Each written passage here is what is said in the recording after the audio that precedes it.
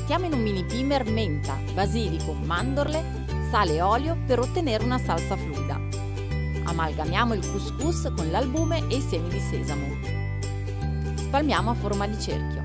Cuociamo a 170 gradi per circa 10-12 minuti. Serviamo carta delle insalate ricetta vivace, i germogli, le cialde e gli spicchi di mandarino. Provatelo con questo gustoso pancake alla ricotta ed erbette.